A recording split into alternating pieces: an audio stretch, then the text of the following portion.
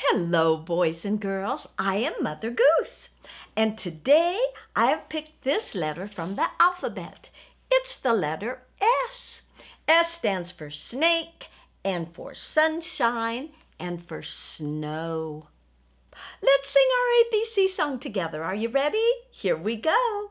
A, B, C, D, E, F, G, H, I, J, K, L, M, N, O, P, Q, R, S, T, U, V, W, X, Y, and Z. Now I know my ABCs. Next time, won't you sing with me? I could hear you singing. You sounded great. Sing starts with the letter S too, doesn't it? And snowman starts with the letter S. I have a wonderful little book I'd like to share with you today. It's called Frosty the Snowman. Here we go. Once upon a time, a long time ago, it was winter, and the first snowfall of the season fell. Now, all boys and girls know that the first snowfall is magical, boys and girls, especially when it happens the day before Christmas. It was the last day of school before Christmas vacation, and the teacher said, Boys and girls, I have a surprise for you. Professor Hinkle will now do a magic show. the boys and girls knew Professor Hinkle was the worst magician in the world. Well, Professor Hinkle took off his hat and he said, I will now throw an egg into my hat. And he did. Then he took his magic wand and said, Abracadabra. Then he said, I will now pull a rabbit from my hat. But when he reached in his hat, all that was in it was a sticky, messy, broken egg. Well, then he said, All this hat is good for is, is the trash. And he threw it right into the trash can. He didn't know his pet rabbit named Hocus Pocus was hiding up in the magic hat. so the hat hopped right out of the trash can and hop, hop, hopped across the classroom and out the door and Mr. Hinkle ran after his hat. Then the school bell rang. Bring! And all the boys and girls knew it was the start of Christmas vacation.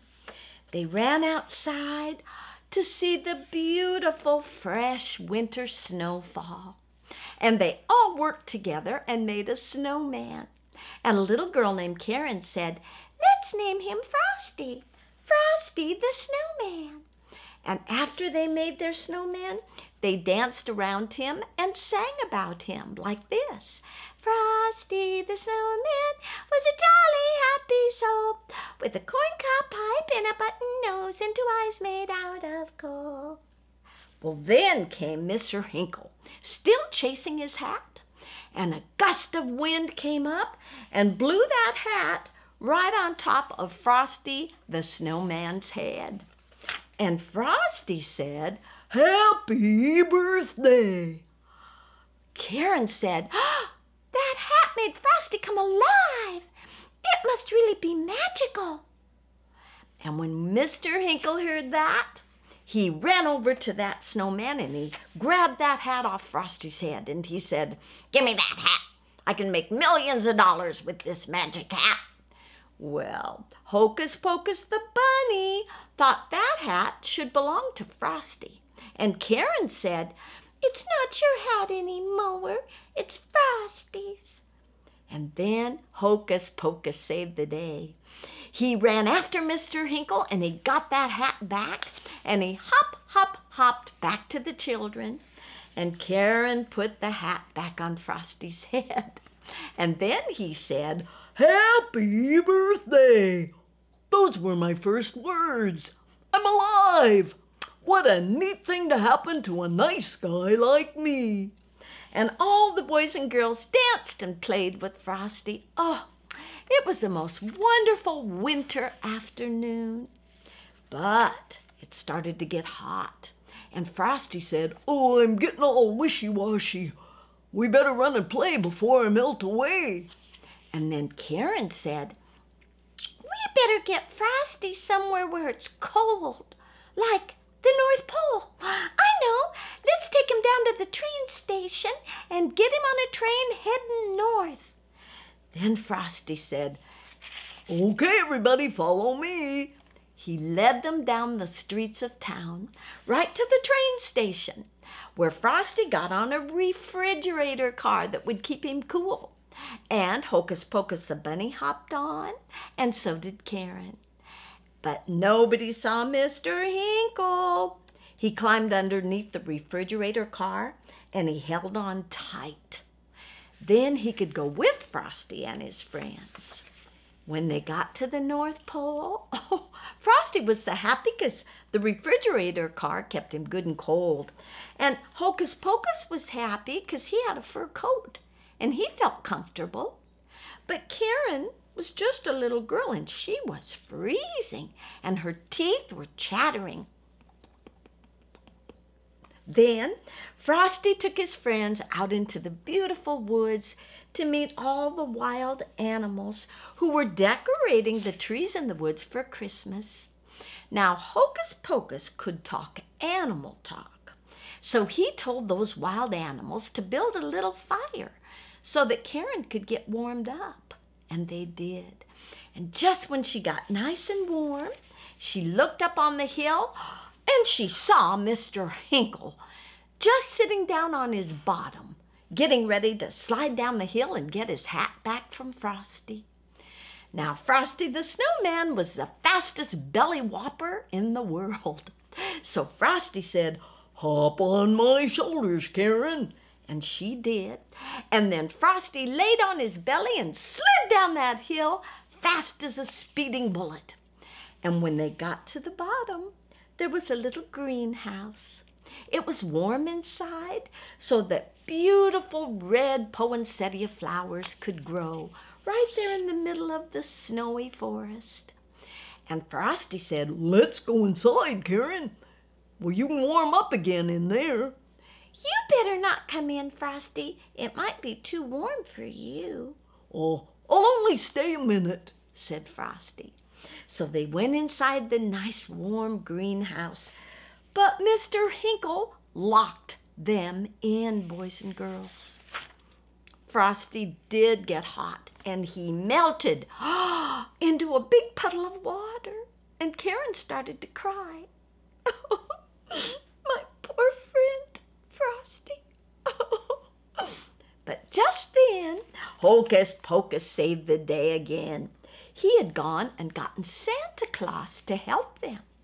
And Santa said, Oh, oh, oh, Karen, don't cry. Why, Frosty the Snowman was made out of magical Christmas snow. As soon as the cold December wind blows across that puddle, he'll come back. Watch. Santa opened the door to the greenhouse, and the cold wind blew in right over that puddle, and Frosty came back. Well, Santa was just going to put the magic hat on Frosty so he could come alive again when Mr. Hinkle came running up and said, Give me my hat. Santa said, Mr. Hinkle, if you ever want another Christmas present from me, you will go home right now and write, I am sorry for what I did to Frosty the Snowman a hundred zillion times. Then maybe, just maybe, you'll find something in your Christmas stocking on Christmas morning. Well, Mr. Hinkle ran right home, boys and girls, and started to write. Then Santa put the magic hat on Frosty's head, and he came alive and said, Happy birthday! Karen was so glad to see her friend back. And Santa said, Oh, oh, oh, we better get home now. So he put Frosty and Karen in his sleigh, and they took Karen right back to her house. She was sad to say goodbye to Frosty, and Santa said, Don't worry, Karen. I'm going to take Frosty home with me to the North Pole, where I'll keep him good and cold. And don't worry, you'll see Frosty again every year at Christmas time with the first Christmas snow. So they flew away, and Frosty waved goodbye to her. And guess what, boys and girls? Every Christmas, Santa's promise came true, and Frosty did come back. The end. Isn't that a darling, beautiful little story about snow and the snowman? Would you like to do a little snow magic this morning? I'm in the mood for snow magic. I've got my magic pan here, my friends. It is empty. As you know, we never know what's going to appear in the magic pan. Now, in this little bag, I have some snow from the North Pole. I got a big handful as I left when I visited my sister, Mrs. Claus. It never melts. I am going to pour this in the magic pan. Now you watch. The snow looks pretty. Whee! Ooh, snow looks sparkly when it falls. There we go. Now we have to put the lid on the pan. There it is. Now, my friends, for magic words today, we'll count to three and we'll say, let it snow, let it snow, let it snow. Ready? One, two, three. Let it snow, let it snow, let it snow. Good. Oh, I hope it worked, don't you? Let's see. It did, my darlings. Oh, it's so cute. A little snowman. Isn't he cute?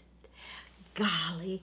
And he's even got a little sign that says, Merry Christmas. Did you build a snowman when it was Christmas time up north in Flagstaff? he's so cute. I think I'll stand him here by this other cute little snowman I have on my tray. Now, I think we ought to do another magic trick. Here's my big bag trick. Let's see what's in the bag. A scarf. What color? Oh, you're so smart. It's green like a Christmas tree. What color's that one, my friends? That's right. It's red. Red like apples. And let's pull out the other scarf. What color's that? White, like snow. And the bag, my friends, is empty. Nothing in the bag. Now, we're going to put them back in. There goes the white one. There goes the red one. Here comes the green one. And we're going to count to three. And this time, let's say snowman. Let's say Frosty the snowman. That's even better. All right, count. One, two, three. Frosty the snowman. Very good. Oh, I wonder what we got. Ooh. Oh, it's a beautiful scarf. Ah, red, green, and white. And on the scarf, ooh, is candy. Little candy canes. Did you have some candy canes at Christmas time from Santa? Let's see what else. Oh my goodness, boys and girls. we got a snowball. I loved snowball fight. Have you ever had a snowball fight? You take snowballs, you make them as fast as you can, and then you throw them at your friends. But don't aim at their head. Yeah, you don't want to hurt them. Just throw them at their legs. I'm going to throw a snowball at you. oh, there's another one. Try and catch it. Uh, and the bag is empty. Oh, you amaze me at how good you always are at magic. Give yourselves a round of applause. Good job. Guess what? I have another winter story for you. I love this story. It's called Little Bear's special friend. Do you have a little stuffed teddy bear? I do. Here we go. Once upon a time, Little Bear was sleeping in his cave. It was winter, but he woke up, so he thought it was spring because bears sleep all winter and get up in the spring. But when he got up and looked outside, it was still winter. Brr, it's cold out here, said Little Bear. He went inside and tried to crawl back in his little bed and go back to sleep, but he just couldn't sleep. So he decided to go out into the winter snow and explore. And he sat down in the snow and said, I'm not going to have anybody to play with. All my little bear friends are asleep. They're not going to wake up till spring. What'll I do? And then all of a sudden he heard a little voice say, I'll be your friend. It was a little snowman. And he said, My name is Sparkly. And Little Bear said, Well, I'm Little Bear. You want to play? Sure, said Sparkly. And Sparkly said, I'll show you how much fun winter can be. So they took a walk in the snow and they left their footprints in the snow. and then they slid down slick hills just like they were on a sled. And then they even picked icicles and they took the pointed icicles and made pretty designs in the snow with them. And then they just stood in the snow and stuck out their tongues and let little snowflakes land on their tongue.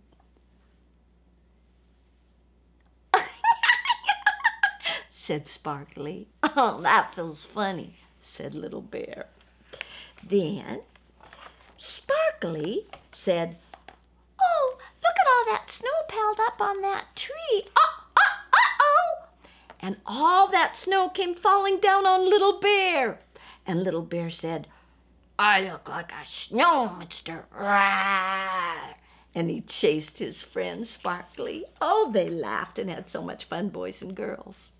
And by night time, it was still snowing. And the two friends stood in the snow and looked at the snowflakes coming down in the moonlight. And Little Bear said, Sparkly, you're my best friend. And you're mine, said Sparkly. And Little Bear gave Sparkly a bear hug. Well, the next day, Sparkly said, I'll introduce you to some other animals who stay up all winter. And they went to see Sammy the squirrel. And Sammy said, Hey, we can look for acorns that I hid in the, in the woods last fall. It'll be like hide and seek. there you can see a little tiny acorn they found buried under the snow. Then they went to see Freddie Fox. And Freddie Fox was sliding on the ice. The pond was all frozen over. And Freddie said, uh, come on, come and slide on the ice with me. And then he sneezed. Sometimes that happens in winter air.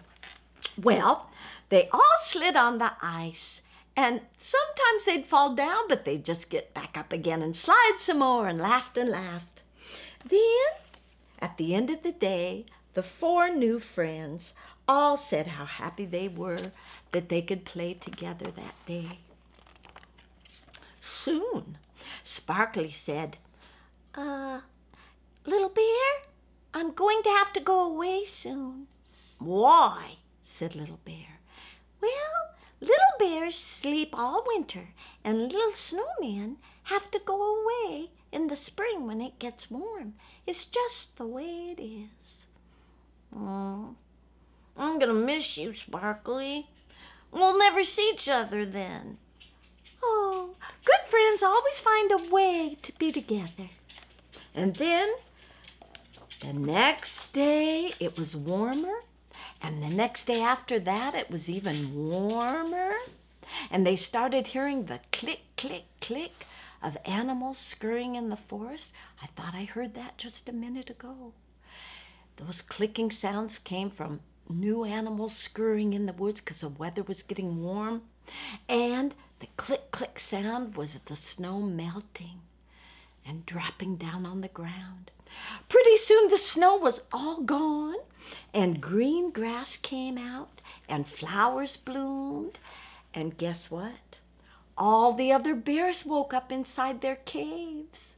So Little Bear had new little bears to play with, but Sparkly was gone, and he missed Sparkly. When he climbed trees looking for honey with his bear friends, he thought, Sparkly would like doing this. And when he swam in the pond with his little bear friends, he remembered how Sparkly and Freddie Fox and him had slid on that pond when it was frozen over. Oh, sure miss Sparkly, he thought. Well, even when he saw Freddie Fox and little Sammy Squirrel, they'd talk about how much they miss Sparkly. But then, my friends, like it does every year, it began to be fall again. And leaves fell off the trees. They turned red and orange and yellow. Oh, they were pretty. And the bears gathered up leaves and put them in their caves so they could lay on those nice, soft, warm leaves when they went to sleep for the winter in their caves. Little Bear went into his cave and fell fast asleep for the winter. But one day, he felt someone shaking him. Then he heard a voice, and the voice said, Wake up, wake up, little bear. And when he opened his eyes, little bear saw his friend Sparkly. And Sparkly said, I woke you up kind of early so we could have some time to play together. And Little Bear was so happy, and he said, You were right, Sparkly. Good friends find ways to be together and the two friends walked outside into the beautiful white, fluffy, falling snow. The end. I love this book, boys and girls, almost as much as I love you, and almost as much as I love my teddy bear. Can I show you my teddy bear? Here's my bear. Isn't he cute? I love him. You know, I thought maybe I should dress him for winter. Do you think I should? I got a little scarf for my bear because you might have noticed in the book there was a picture of Little Bear with his little scarf on. I want to get it straight. Can you see it? Yeah, there's his little winter scarf. Oh, that'll keep you warm. Then I should give him a winter hat, don't you think? I think so too. That cute, it's got a little ball on the end. And we'll put this over his ears. Gotta keep your ears warm when you go to play in snow, boys and girls. ah, but you gotta see. There, now we can see. Ah there, He's dressed for winter. Isn't he cute? And let's see, I want to, oh, I'm going to set him right here in my magic pan. Yeah. And I want to show you something else. See this big snowball? Whoa, it's a big one, isn't it? Do you see how it kind of sparkles in the light? Well, watch this. When I put my hand inside of this snowball, what? What? it's a snowman. Isn't he cute? This snowman has a carrot nose and and so does this little snowman and so does that other big snowman. Guess what I call him, my friends? Sparkly, like the snowman in the story because he sparkles. I even made up a little song for him. Would you like to hear it? You would? Thank you. It goes like this. I'm a little snowman, a carrot for a nose. I got no feet and I got no toes. Sometimes I have stick arms and a big old hat. and when I melt, well, that is that. Good job, little snowman. Oh, look, he's waving at you, boys and girls. Everybody say bye, Sparkly. Bye bye, Sparkly. Here, you can sit right here next to my bear. I guess I should name my bear Little Bear like the story, shouldn't I? And boys and girls, I just wanted to mention something that I think is amazing. See this pretty snowflake?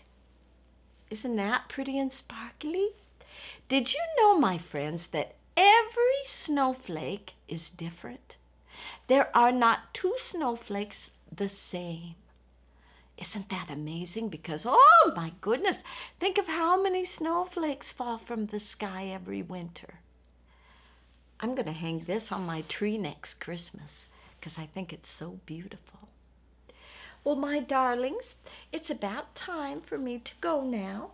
That's everything I wanted to show you today. But let's sing our song together. It's called the Barney Song. Remember Barney? But it just explains how much I love you. If you remember it, sing along. I love you. You love me. We're a happy family with a great big hug and a kiss from me to you. Won't you say you love me too? I hope you get a chance this winter to go play in the snow up north, boys and girls. And if you do, remember me and Frosty and Sparkly and Little Bear. Bye bye, everyone.